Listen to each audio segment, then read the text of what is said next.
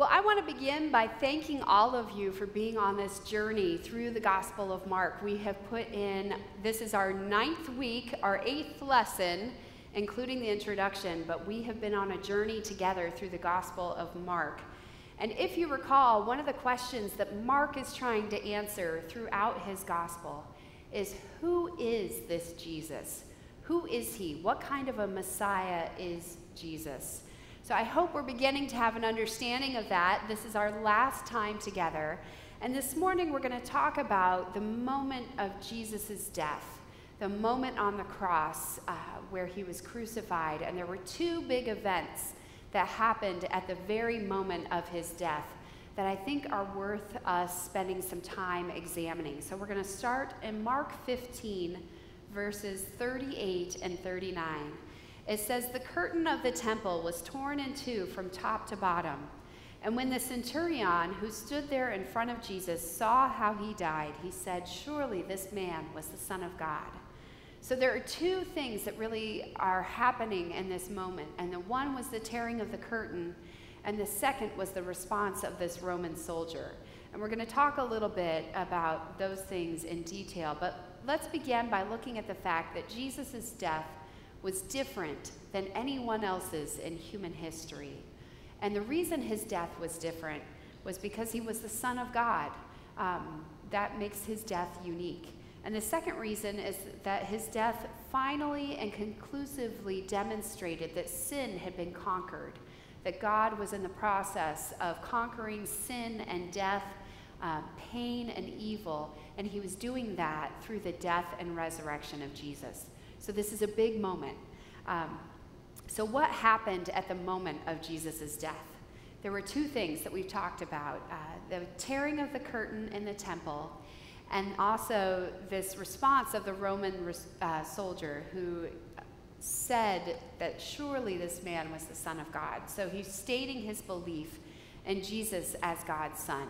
And what I want us to see here is that there were two things um, that Jesus' death was addressing, that Mark kind of zooms in on. And the first was the temple curtain.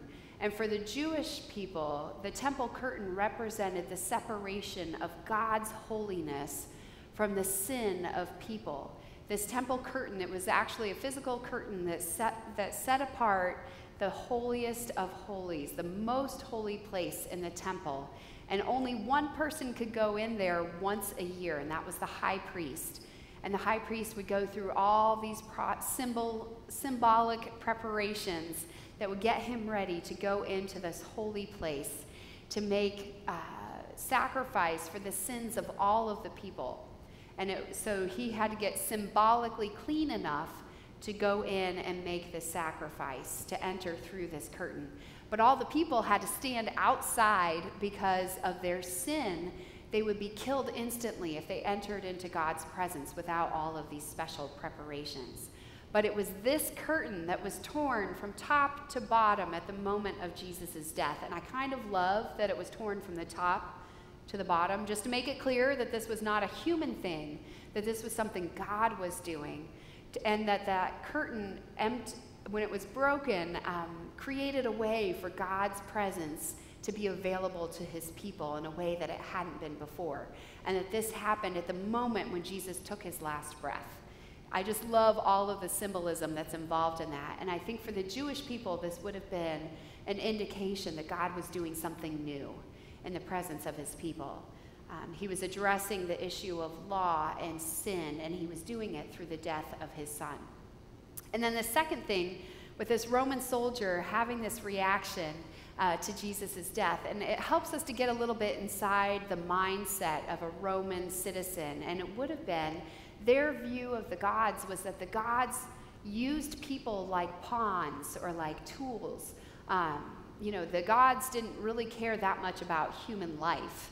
And the idea of God or of a God coming and dying and dying in such a painful way um, on behalf of his people, it just wouldn't have been any part of the Roman mindset. So the fact that this soldier had this response to Jesus' death, um, and remember that the Roman soldier, his job was witnessing crucifixions. It wasn't like this was the first one he'd ever seen. But there was something about the way that Jesus died that convinced him that this was God's son. And I believe that God gave him the ability to put those things together because it wasn't some, you know, anything that he would have figured out on his own. Um, so the Roman soldier recognized Jesus as the Son of God. So these are two big things that are happening at the moment of Jesus' death. So let's talk about the suffering of Jesus. And I want us to see that everyone played a part in Jesus' suffering. First of all, Jesus was rejected by the Jews for blasphemy. So the Jews wanted Jesus to die because they believed that he was being offensive to God. Remember, Jesus had indicated that he was God's son. He had made that claim to be God himself. And the Jews instantly recognized this. Um, if it wasn't true, it was hugely offensive to make these claims. Um, so they wanted him crucified because they believed that he was committing blasphemy by claiming to be God. And the Romans wanted Jesus killed because they saw him as a political threat. Remember, he was claiming to be a king. And if he was a king, then he was in direct opposition to the Roman king. You can't have two kings at the same time. So the Romans thought that Jesus needed to die because he was claiming to be a king and he was a political threat. And the third thing is that Jesus was denied and abandoned by his followers. We looked at that last week about what that looked like. So his closest friends had abandoned him. Um, so he, Jesus, what I want us to see in all of this is that Jesus was suffering in many different ways. The Jews um, had rejected him. The Romans saw him as a threat, and his own friends had abandoned him in his moment of greatest need. So those were all elements of his suffering. But none of those things compared to the final one, which was that he was separated from God because of human sin. And I think sometimes when we talk about the cross, we tend to focus on the physical pain of that moment. And we think it was, you know, which it was, terribly painful. I don't want to belittle that.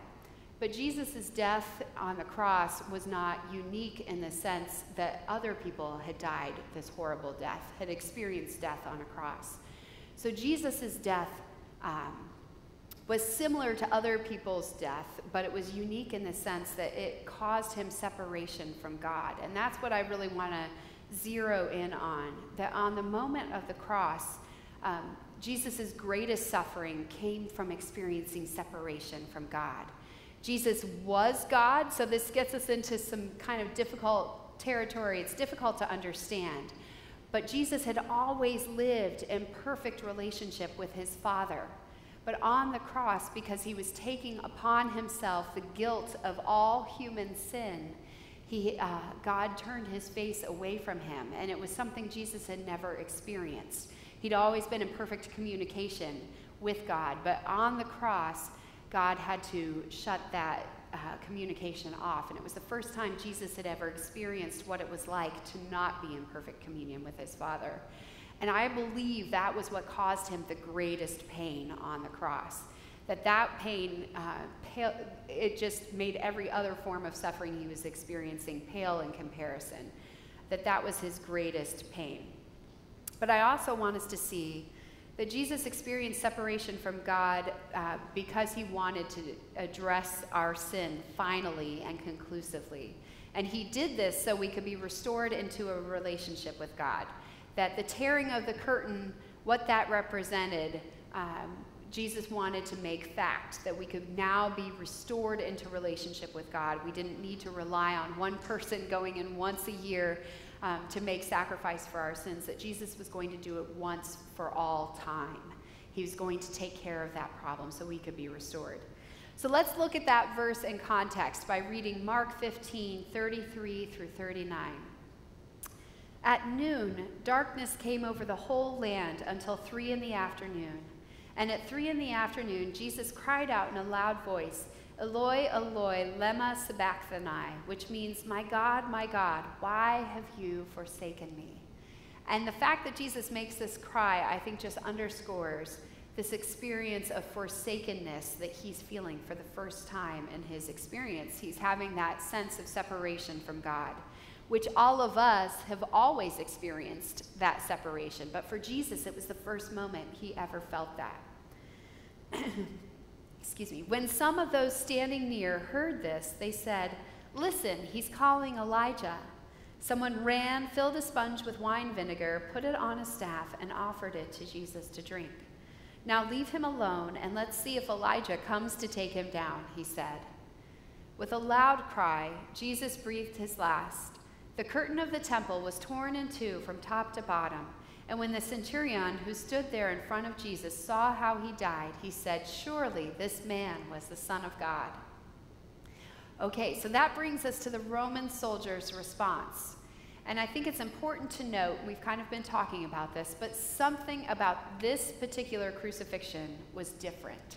Remember, this soldier had seen a lot of crucifixions, but there was something about the way that Jesus died that set this apart for him. It was different. And also, weakness, suffering, and shame contradict every culture's view of divinity. So, in other words, God should not suffer and die. Uh, for this Roman soldier, gods don't die, right? People die. Um, so, this idea of a weak God or a suffering God that would be willing to die was so far outside of his understanding of what gods do. But somehow God gave him this perspective or this ability to recognize that Jesus was, in fact, God and he was dying for human sin. So there was something about that that was very clear to him. And the other thing that I think is really special about the Roman soldier's response is that he was a Gentile outsider claiming faith in Jesus as God's son, and that that was a result of God's revelation. And remember that Mark was writing this gospel for folks that were predominantly Gentile themselves. So they would have identified with this soldier. He was one of them. Um, and the fact that he was able to identify Jesus as God's son and that God gave him that special uh, wisdom to recognize it helped them understand that, that Jesus' death was relevant for them as well and that they were brought in um, to experience that belief themselves. Okay, so let's talk about why Jesus died. Why did Jesus die? What was the purpose of that? What was the point of that? Um, the first thing is that Jesus was sinless, that this Jesus was capable of taking our place and to be our substitute because he was sinless. If he was dying for his own sin, it wouldn't matter for the rest of us, it wouldn't count. But the fact that Jesus was sinless meant that he was uniquely situated to take on everyone else's sin and to serve as a substitute for all of us. And I want us to see that Jesus took the punishment for every sin committed by every person throughout time. And I've heard this explained just visually. I think it's kind of interesting uh, to picture like a giant funnel over the cross. You know, that in that moment when Jesus was positioned on the cross, he was carrying the weight or being funneled into all the sin of every human being throughout time.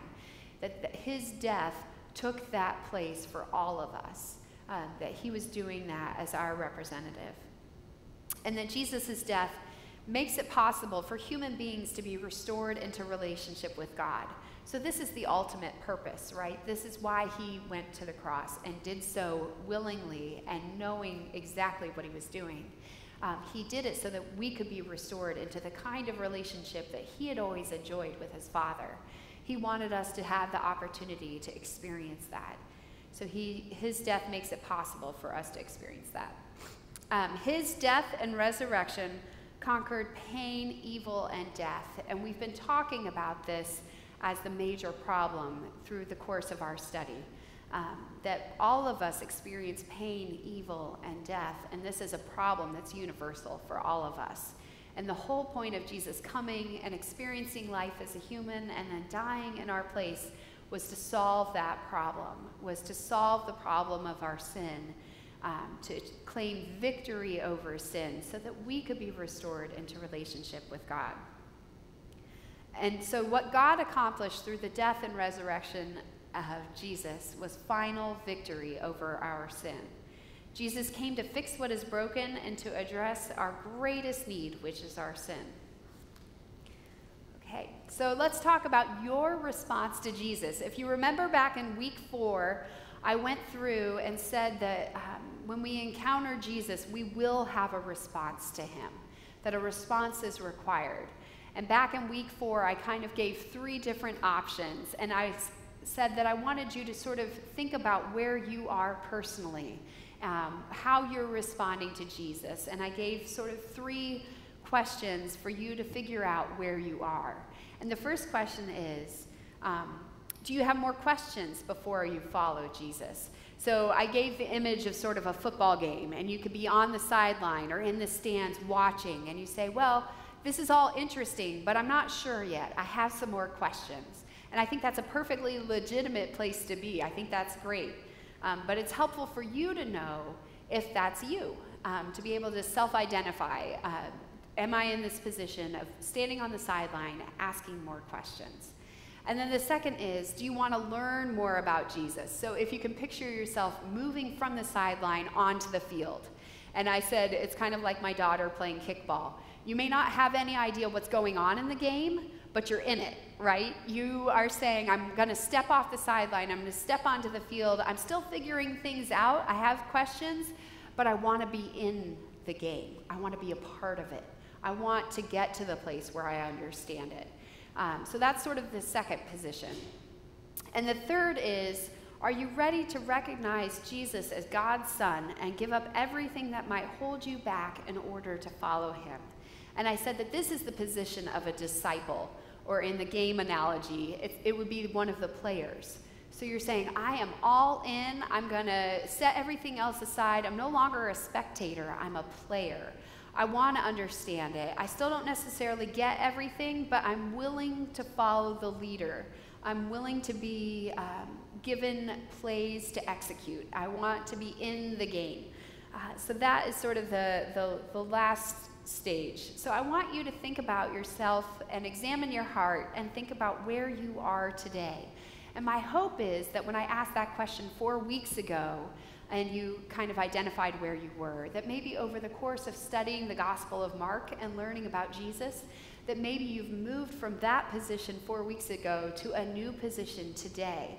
Um, so I want you to think about that, examine your heart, and maybe when you go to your group time, um, talk about that if you've moved since week four, if you're in a new position, and also to ask yourself, what do I need in order to begin following Jesus?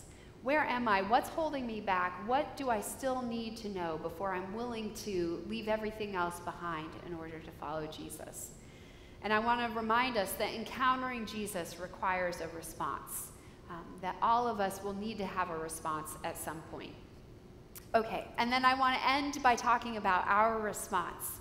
We've been talking about when Jesus came in the beginning of Mark's gospel, Jesus said, The time promised by God has come at last. The kingdom of God is near. Repent of your sins and believe the good news. So that was how Jesus opened his ministry. He said, The time is now. Uh, repent of your sins and believe the good news. And we've talked a little bit each week about what it means to repent and believe. So I want to end our time together by just revisiting these ideas and what it means to have a response to Jesus. It starts with repentance, which means agreeing with God about our brokenness and our need for forgiveness. And last week we used that image of the broken pottery, and we talked about how it can't fix itself. Um, so repentance begins when we are just honest with ourselves and honest with God, and we say, I can't do this on my own. I'm broken and I need help. I need forgiveness. Um, and then the second step is believe. And Jesus calls us to belief. And he says, Believe the good news um, that God sent Jesus to fix our greatest need. So when we believe, it means that we believe that what Jesus did on the cross uh, was powerful enough to solve our sin problem. We believe that what Jesus did on the cross achieves our forgiveness, and we agree with God that Jesus is necessary for our salvation. And then the third thing is live out your faith. Become a disciple of Jesus. Get in the game, even if you're still unsure of exactly what that looks like or what that means. Commit yourself to following Jesus um, and see where he leads. So, thank you for being on this journey. I hope that you are getting excited about Jesus, that you have followed with us and asking those questions about who is Jesus? What kind of a Messiah is he? what did he do on the cross? Why does that matter? And I hope that at the end of all of those questions, you've discovered that God sent Jesus um, to solve our sin problem and to make it possible for us to be restored into relationship with God the Father. So let me close us in prayer. Um, enjoy your time in your discussion groups. Lord Jesus, I am so thankful and so grateful for these people and for their hearts that are hungry for knowledge of you. I pray that you would meet them in that process, um, that you would give them guidance about what it means to be your disciple. Um, I pray that you would surround them with people who love you and love them and are willing to walk with them um, as they begin their journey with you. Just make it clear to them um, what you want from them and just rush in with your love and restore them into relationship with you. In your name I pray. Amen.